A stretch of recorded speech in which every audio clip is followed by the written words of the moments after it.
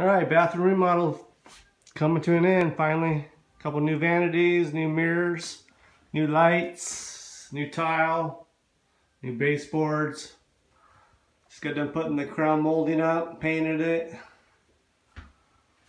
Time to start using this new bathroom. New toilet, new tile, shower, new window.